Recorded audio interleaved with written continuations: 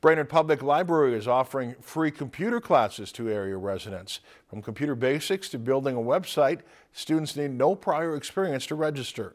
Chantel Calhoun has the story. Brainerd Public Library is offering Google Business classes as a way for companies to create easy to use, appealing websites with the hope that their sites will gain more traffic. Having Google classes in a partnership with Grow with Google, and they are going to be uh, held in January and February, one class each month.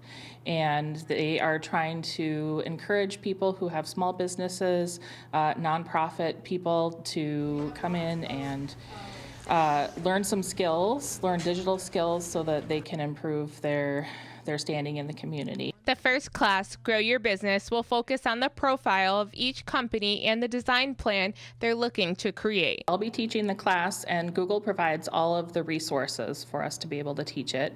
And this will allow businesses to be able to make sure that they show up online when people are searching for their, their type of business.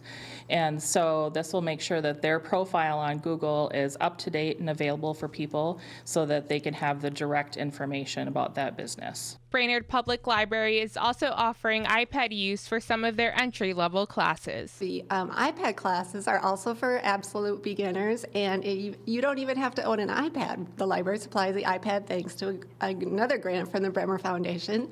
So if you've always wondered, oh, that looks kind of fun, maybe I'd like to play with one, that's exactly what you do in this class. Don't even think of it as a class, think of it as a chance to get in come in and get your hands on some tech with a very friendly instructor and just learn what it's all about. Reporting in Brainerd, Chantel Calhoun, Lakeland News. The first class will begin on January 9th and class sizes are limited to 10 students each.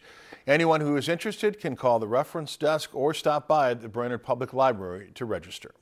If you enjoyed this segment of Lakeland News, please consider making a tax-deductible contribution to Lakeland PBS.